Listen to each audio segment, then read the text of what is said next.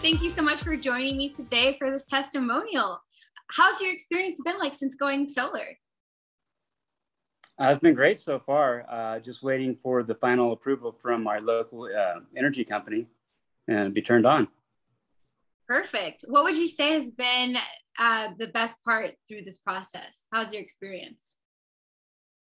Um, I think for me, the, the, the best part was the ability to change the initial plan um, from, I believe, a 5.7 kilowatts to 7.2 kilowatts. So increasing the size of the system, um, just preparing for the future in case we added an electric vehicle down the road or things of that nature.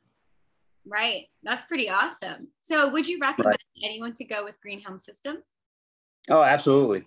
Absolutely. Easy process. Uh, the my representative that I, my contact representative has always been there anytime I had any questions, very responsive. Um, and the installation electrician they use here in Nevada, um, very professional, very good. Um, so no, no issues whatsoever. All right. Right. Perfect. Well, I really appreciate your time today and thank you so much for this testimonial. Absolutely. I appreciate the call.